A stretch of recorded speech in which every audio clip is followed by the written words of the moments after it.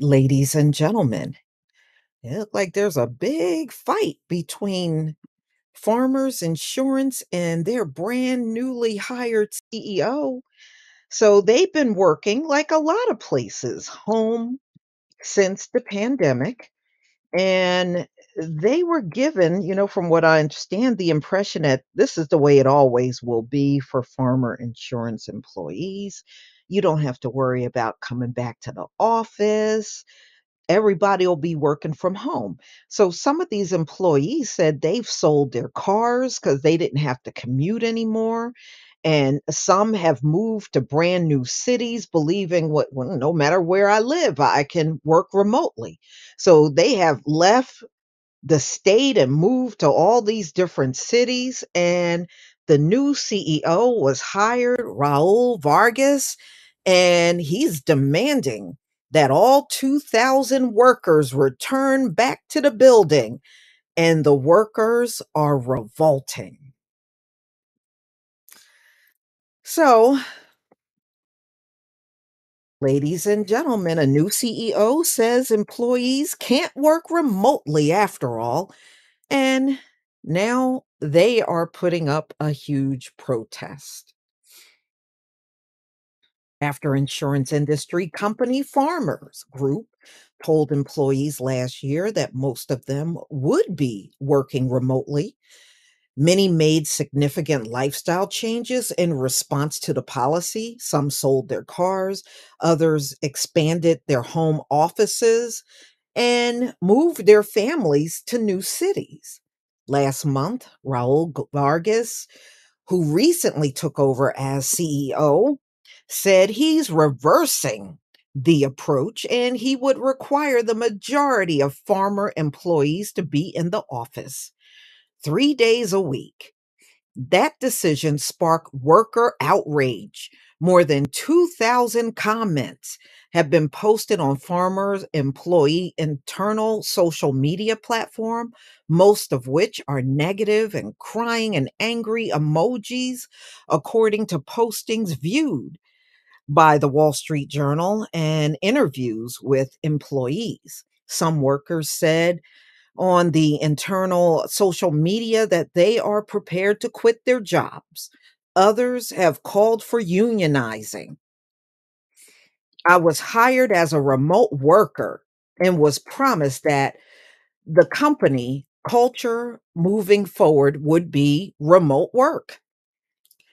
A worker who specialized in medical claims posted, This is seemingly a power move that is frankly disgusting.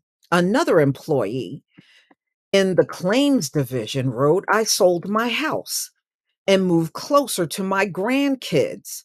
So sad that I made a huge financial decision based on a lie. In an email to employees viewed by the journal, Vargas explained his decision, saying he believed in the importance of office work for collaboration, creativity, and innovation.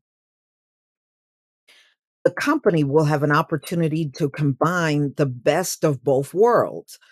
All that we've gained from a flexible and virtual work with all the teamwork and collaboration we get when we work together in an office, Vargas said. Farmers spokeswoman said the new system will include about 60% of the company's US workforce of about 22,000 employees. She pointed out that the announced policy won't go into effect until September, giving workers three months to adjust or make arrangements. Farmer believes that as business conditions change, so much, uh, uh, so must business approaches. This is according to a spokeswoman. Employees said that the shift is unfair because they made life decisions based on statements made by the company that the remote policy would be permanent. Yeah, well, I mean, if you were told that, I can understand how they feel, but now you got a newly hired CEO and he wants to reverse those changes. So, uh, the uproar at the Los Angeles based farmers represent an emerging tension point in returning to the office saga. New management teams are imposing stricter workplace policies on employees who counted on more flexible work, uh, you know, the flexibility being permanent. So, mm-mm-mm. So they're saying they're faced with the same thing over at Walt Disney Company and David Risher as Lyft also is pushing back on some employees after recently announcing stricter uh, office policies. So that's what's going on too. As these folks are called back to the office, they have gotten a lot stricter with what they can do with their time while they're in the office. So a lot of people are complaining it got worse when they returned back to the office. So um, in Seattle last week, hundreds of Amazon.com workers held a lunchtime demonstration against the company returning to the office policies. And yeah, I mean, thousands of employees at city agencies uh, were told they would not be allowed to continue to work remotely. So I guess it really depends on what city you're in. This is not happening in all cities, you know, but in some city workers got to go back to the office. So y'all tell me what you think. Boy, these people are, ooh, they're fired up, mad that they got to go back. And they're saying the policies are ridiculous that they've come up with when these folks return back. So this CEO pretty much want them to do a hybrid schedule where uh, they work 3 days at the office, 2 days at home. And y'all let me know. I mean, if you work remotely, are you in a situation where the company is trying to get you back in to the office, or do you currently work a hybrid schedule where sometimes you're in the office and sometimes you're home? And let us know how you feel about that.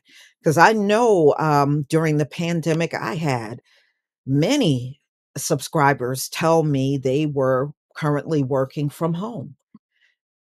So, nevertheless, let me know.